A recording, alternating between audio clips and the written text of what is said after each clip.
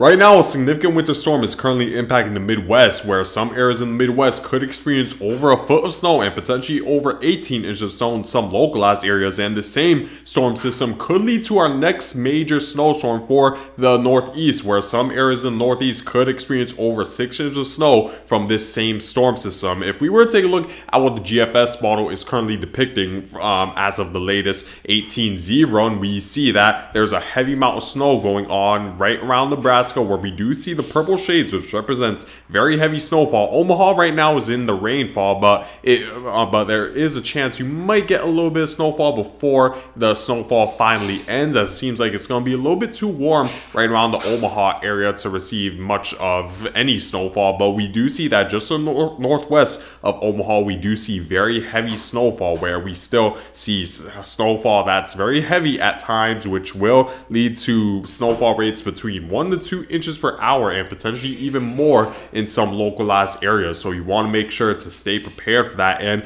we should see the snow eventually approach Minneapolis, I'd say by the noontime on um, tomorrow, where we could, uh, where you guys will eventually receive the heavy snowfall, where you could experience six to 12 inches of snow. And we see that this snowfall will last for a long duration for the eastern portion of South Dakota and the northeastern portion of Nebraska, where we're seeing this low pressure system linger a little bit before it eventually moves to the northeast. And this heavy snowfall should move uh, northward into Minnesota. I'd say by the afternoon to evening time on Tuesday. Same goes for the northern portion of Wisconsin. And the snow should last for the eastern portion of South Dakota and no- the northeastern portion of Nebraska. I'd say until Tuesday evening before eventually moving to the northeast. And eventually, this low pressure system is expected to weaken as a result of the instability getting reduced as it continues ahead for northeast, where we're going to see the jet stream sort of cut off from this low, and this low will sort of be in its own little island where it's going to be cut off from the very warm and moist air mass to produce much more convection. And as all, the pressure will rise and the storm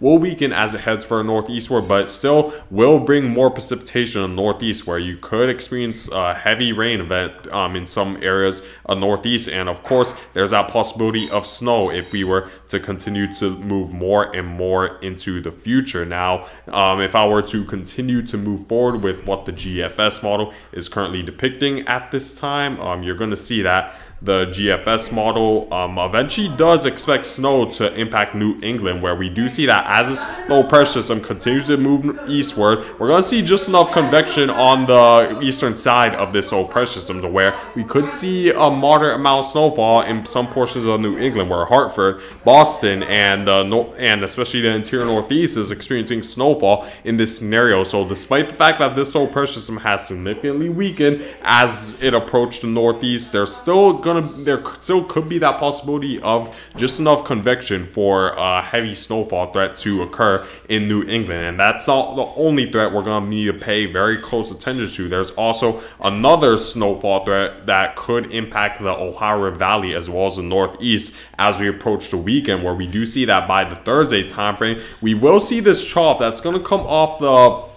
Pacific coast um, move into the Midwest, and there could be just enough instability to create a little bit of convection right around the low pressure system. And while there isn't a high amount of instability to really make this a significant snowstorm, you have to remember that they, we're forecasting the storm around four to five days out. So there still could be a dramatic shift in the forecast where maybe the computer models do depict that there could be a little bit more instability than expected with this low pressure system. But we're gonna need wait and see. It really all depends on how much cold air will be behind this low pressure system as it as it moves into ashore along the Pacific coast, where we do see that this storm will eventually originate from a atmospheric river that's going on along the west coast, move into the midsection of the country, and there should be just enough of a northwesterly flow to create that possibility of snow and convection to go on, where you could see a large area of one three inches of snow between the Ohio Valley and even extending into Pennsylvania. But we're gonna need to wait and see how much instability there will be in the in the northeast to really determine if this could be more significant than that's than let's say only experiencing one to three inches of snowfall. But the fact that the European model also agrees with this does raise certainty with the forecast. Let's take a look at the European model right now.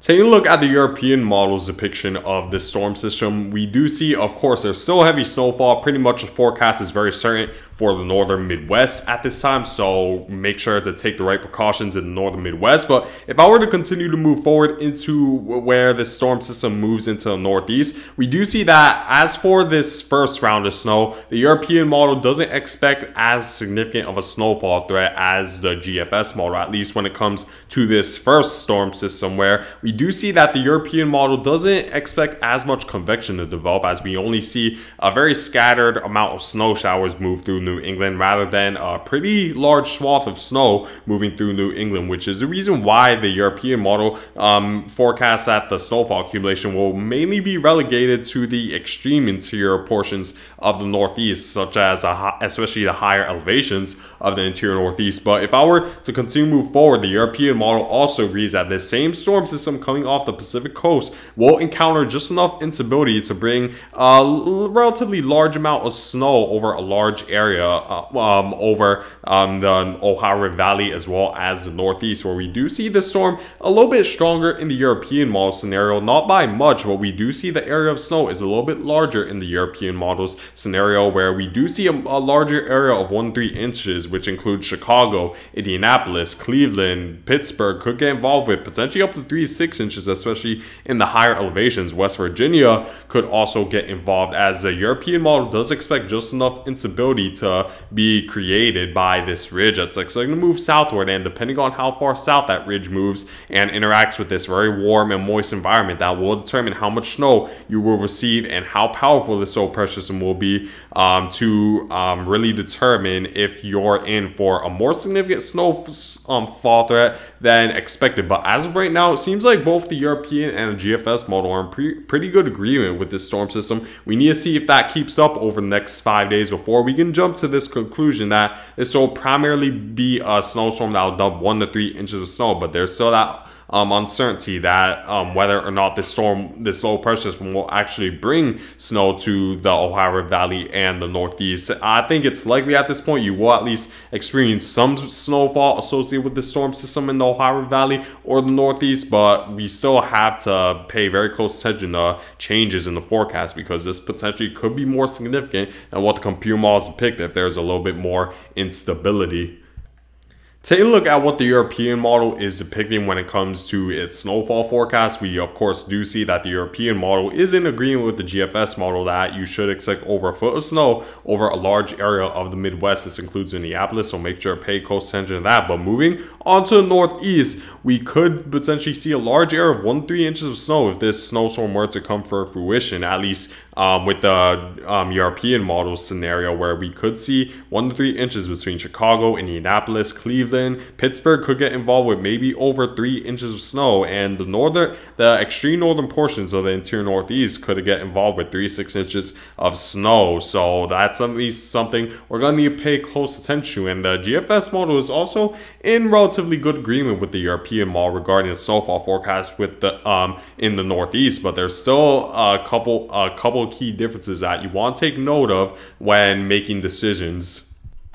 Take a look at the GFS's model's forecast. We do see that the, the GFS model also agrees that there should be at least some sort of snowfall right around the Ohio River Valley and the um, portions of the Northeast where we do see a large area of 1 3 inches of snow and a smaller area of 3 6 inches of snow in the um, in right around the, just north of the Ohio River Valley. But we do see that Chicago is experiencing less snow in this scenario compared to the European model. And however, the much of New England is experiencing a much much larger area of snow where Boston is now involved with, with three to six inches of snow. So is Hartford. So this would impact the more populated areas of Northeast. Albany is involved with snowfall as well, where you could experience three to six inches if the GFS model scenario is correct. And Pittsburgh as well is still experiencing snowfall in the GFS's model scenario. So it's still relatively similar to what the European model is stating. It's just that the, the GFS model doesn't expect this second snowstorm to bring snowfall as widespread as a European model, but still does agree that this snowstorm will eventually form, which makes it likely, in my opinion, that we will see a snowstorm move into the Ohio River Valley and the mid-Atlantic as we approach the weekend. And New England, it's pretty much, it's very likely you will experience at least some sort of snowfall somewhere in New England at this time. We're going to need to see if we're going to, um, um, over the next several days, if we're going to see that snowfall move as far south as Boston or take more of the European Mars approach where the snow is mainly rele relegated to the interior northeast. But what I could say is that the interior northeast will likely experience um, at least three to six inches of snow from this storm. It's just it just becomes a little bit more uncertain as we head further southward into Boston, Hartford, and even into Albany. So here's my snowfall forecast regarding the next few storm systems are expecting to move through the northeast. So I'm currently moving um, closer to what the European model is stating, where I'm expecting a large area of 1 3 inches between Ohio, Indiana, Pennsylvania over the next seven days, and including upstate New York. And Boston could get involved with maybe 1 3 inches of snow over the next week, and then 3 6 inches just on north of that, where the snow, of course, should be a little bit heavier and it should be primarily entirely a snow event for you guys where it's more certain it's going to be an all snow event and then 6 to 12 inches just to the north of that and then pay Pecos tended to over a foot of snow right around the central portion of the Midwest. So make sure to pay close attention to that. There's still uncertainty, but I'll keep you guys updated regarding any changes in the snowfall accumulation forecast. But thank you guys for watching.